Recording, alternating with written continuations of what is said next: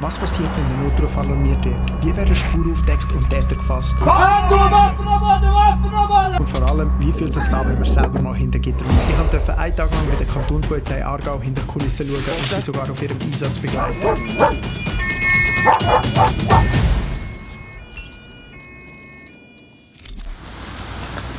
Zuerst mal, ihr könnt euch ein Zeug schnell ein bisschen herlegen. Äh, nachher gehen wir zuerst mal schnell einen Kaffee nehmen. Können wir mal schnell schauen, was der Tag alles bringt. Heute sind wir den ganzen Tag mit dem Marco und dem Dani von der Kantonspolizei Aargau unterwegs. Und schon nur heute Morgen warten sechs verschiedene Stationen auf mich. Ein Besuch in der Notrufzentrale, ein Training im Schiesskino, eine erkenntnisdienstliche Behandlung, ein Laboruntersuch bei der Kriminaltechnik, das Polizeifahrzeug von A bis Z mal ausprobieren und mal selber in die Uniform schlüpfen. Am Nachmittag wartet dann das Highlight auf mich, mit ihnen auf Streifen gehen. Also ein echter Einsatz. Und sie haben mir ganz am Schluss noch ein mega nices Geschenk mit auf den Weg gegeben.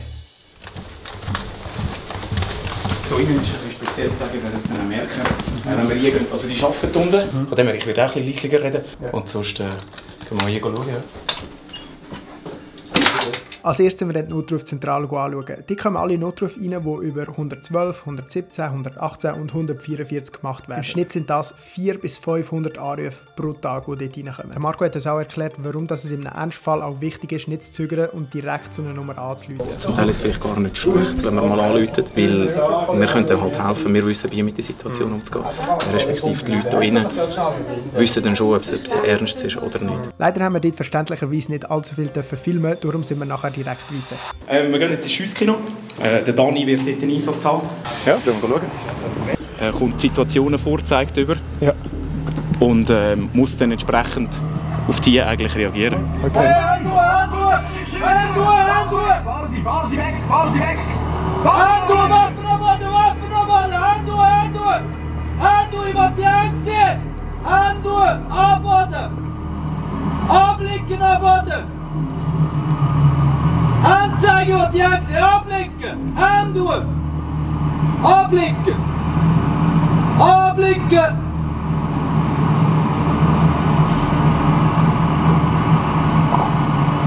Anzeigen! Jetzt haben wir mal schnell ein bisschen gesehen, was kommt. Äh, weiter führen können wir dann natürlich nicht, weil je nach eben hat er jetzt schon müssen die Waffe ziehen ähm, weil halt eine gewisse Bedrohungslage da war. Deine Aufgabe ist Sicherungsperson, das heisst, du sicherst die Situation von deinem Triageur. Für dich klar? Ja. Okay, dann starten wir. Gut, danke.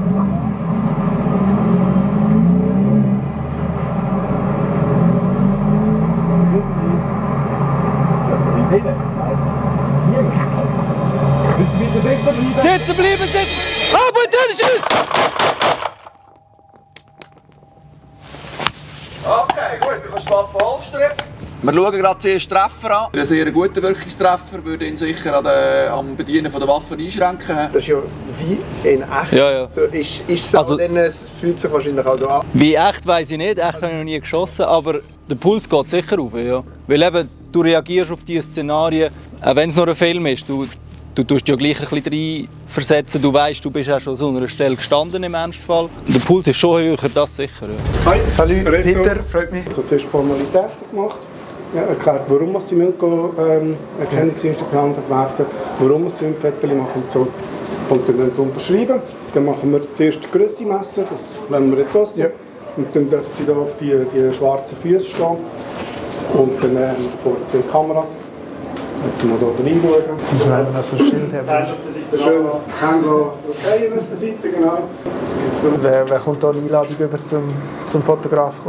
Also, ähm, wenn, wenn jemand verdächtigt wird, eine Straftat begangen zu haben, dann tun wir ihn entweder vorladen, da Ja. gibt es eine Vorladung, da kannst du reinkommen, dann machen wir das. Oder die Polizei bringt ihn, wenn zum Beispiel in Haft ist, der noch nie erkennungsdienstlich behandelt ist, dann kommt er vorbei, Polizisten werden den begleiten, kommt meistens in die Handschelle, hockt er hier ab und dann machen wir die äh, Formalitäten. Das ist nichts. Das ist wirklich einfach nichts. Dann nehmen wir die chemisch behandeln, der sogenannten Kapelle, kurz trocknen, dann nehmen wir mal die Blätter mit und 10 Sekunden pressen. Und dann tut es die Fingerabdrücke, wenn es drauf hat, entwickeln. Das ist ein blaues Licht. Boah, krass. Und wenn wir acht spezielle Sachen auf dem Fingerabdruck sehen, also eine Vergabelung oder einen Punkt oder so, ein sogenanntes Auge, dann können wir das fotografieren und einschicken. Wie so das Fahrzeug eigentlich aussieht. Eben grundsätzlich relativ normal. Hat halt einfach seine Einbauten. Wir haben hier ähm, eigentlich unser Leitsystem, wo wir darüber unsere Aufträge bekommen. Wo müssen wir herfahren, an was für einen Einsatz gehen wir. Mit dem können wir eigentlich die ganze Beleuchtung und alles steuern. Und wenn wir jetzt mal aussteigen. Es kann sein, dass wir mal jemanden rausziehen Mit dem meinen wir eigentlich jemanden von der Autobahn in eine Kontrolle. Dann geben wir ihm hinten dran, Polizei bitte folgen. Dann wissen sie, sie sollten uns nachfahren. Habe ich auch schon so. Hast du auch schon mal so? Was wir halt auch dabei haben, kennt man auch fast ein bisschen mehr aus dem Film, aber kann es doch mal vorkommen, dass es äh, im Einsatz könnte, Was? von dieser Nagelband. Ah, krass. Das rührt man nachher eigentlich so auf die Straße. Man rührt es auf die Straße und dann äh, fährt das Zielfahrzeug drüber. Ähm, Achtung, sind sehr scharf. Ja. Die brechen ab, bleiben im Pneu stecken, die Luft geht raus vom Pneu äh, und das Fahrzeug haltet. Oder ist zumindest so eingeschränkt, dass es langsam fährt. Er hat gerade letzte gegeben, das Fernsehen bei uns mit dabei gewesen. Ja. Ist einer während der Großkontrolle, wo das Fernsehen gestanden ist, bei uns durch die Verkehrskontrolle gebrochen. Hey, hey!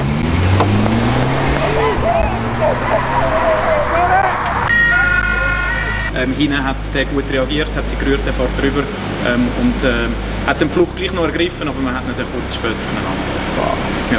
Wie sieht die Polizeiuniform aus? Und vor allem, was hat sie alles dabei? Der Dani erklärt jetzt uns. Wir haben hier angefangen bei den Dienstwaffen. Weiter geht es Handschellen, Schlüssel für die Handschellen, Schlagstock. Kabel. Genau. Okay. Dann hier haben wir Täschchen für Zusatzmagazin, Lampen oder Sackmesser, je nachdem. Und natürlich das Funkgerät, das wir auch richtig brauchen. Was sind die Sachen, die du am meisten brauchst? Ja, am meisten brauchen wir das Funkgerät, um mit der Einsatzzentrale oder anderen Patrouille zu kommunizieren. Handschellen brauchen wir viel, Händchen, die wir immer dabei haben. Oder natürlich auch Kugelschreiber, um irgendwie Notizen machen und Aussagen aufnehmen. Und nachher war es endlich so wie gewesen. Wir haben uns ready gemacht für unseren Einsatz am Nachmittag. Hallo, danke, freut mich. Schon ein bisschen etwas gesehen? Sehr viel, ja. Gut, und jetzt kommt der spannende Teil. Okay. An den Schuhen könnten wir noch arbeiten. Aber bevor es so wie war, haben wir mit allen zusammen zuerst noch eine Besprechung gehabt. Peter, willst du noch etwas sagen? Guter Einsatz heute. Eine Worte, guten Einsatz und vor allem kommen wir gut zurück. Guten Dienst. Fünf Minuten nachdem dass wir unseren Einsatz gestartet haben, ist tatsächlich auch schon die erste Meldung reingekommen. Und in dem Fall handelt es sich jetzt um einen Selbststundball. Was wir bis jetzt wissen, ist eigentlich, dass sie links vorne einfach äh, mit, der, mit der Mittelleitplanke kollidiert ist. Was hier als erstes passiert ist, unsere Patrouille fährt her, äh, wird abgesichert, wird geschaut, dass da nichts mehr passiert. Und jetzt haben sie haben sie auch ein Triobahn schon gestellt. Somit ist im Verkehr klar, ups, da vorne ist irgendetwas nicht gut, verlangsamt. Und dass da eigentlich einfach nichts mehr weiteres passiert. Nachdem das eine andere Patrouille den Fall übernommen hat, ist es für uns direkt weitergegangen und das mal sogar mit einer Blaulicht. Also was wir jetzt haben, ist, wir haben äh, ein Tier auf der Fahrbahn. Äh, unklar ist, dass, ob das noch lebt oder nicht. Ähm, auf jeden Fall liegt das mitten auf der Autobahn. Ist in dem Fall eine Gefahr für, einfach für weitere und natürlich für sich selber. Und darum wir jetzt schauen. Es ist definitiv ein sehr spezielles Gefühl, mit 170 über die Schweizer Autobahnen zu brettern und einmal über ein Rotlichtsignal drüber zu fahren. Dani wird dann den Verkehr abtempieren ähm, und ich kann dann hinten die nicht überholen auf Matrix tun. Äh, somit sollte der Verkehr hoffentlich klar sein, dass sie uns in dem Moment nicht überholen. Dann können wir schnell anhalten. Ähm, ich drücke es schnell von der Straße und dann kommen wir dann wieder weiter.